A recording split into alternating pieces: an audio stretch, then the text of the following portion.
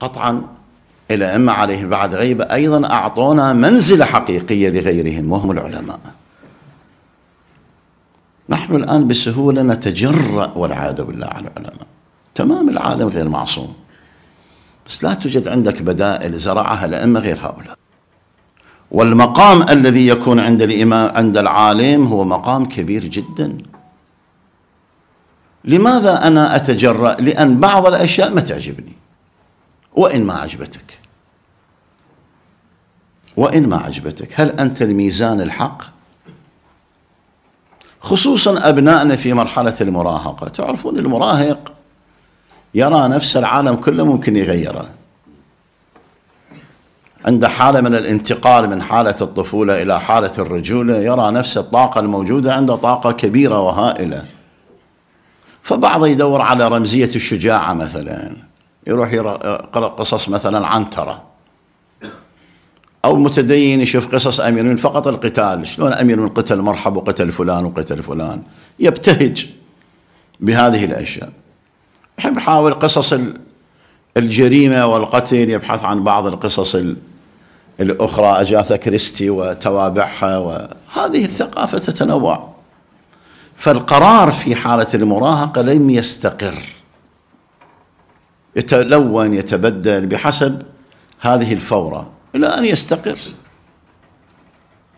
فهذه الفترة لا تكون فترة يحدد الإنسان فيها قراراته بشكل نهائي. قد يندم عليها بعد عشرين سنة. فلا تكن هناك جرأة لأن هؤلاء العلماء الله تعالى إن شاء الله يحفظ الحاضرين منهم ويرحم الماضين برحمته الواسعة هم حقيقة السدود المنيعة لولاهم لضعنا. كل منا كان يعمل على شاكلته وإلينا حسابهم يوم القيامة.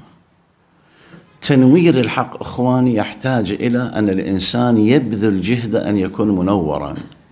أنت الآن تقدس الإمام الحسن عليه السلام. تعلم الإمام الحسن المشكلة اللي عنده كانت ما هي؟ أن أراد أن يصلي الإمام الحسين لم يسمحوا له بالصلاة سحبوا السجادة من تحت لماذا؟ لأن العقول كانت في الفتنة سمعوا كلام الأشعث وسمعوا كلام فلان لم يسمعوا من الإمام عليه السلام بنفسه سمعوا أعداءه فيه فاصحاب أو ما يعني الموجودون معه صدقوا أعداءه فيه ولم يسمعوا منه. شوف المفارقات اللي تحدث. يعني سمعوا أعداء الأشعث من أعداء الإمام الحسن وأمير المؤمنين. ماذا قال الأشعث؟ قال الحمد لله خرجنا وصالحنا الإمام. لم يسمعوا من الإمام. فعلا صار صلح أولى وفي فورتهم تجاوزوا على الإمام الحسن حتى بعضهم ضربه بخنجر في فخذه.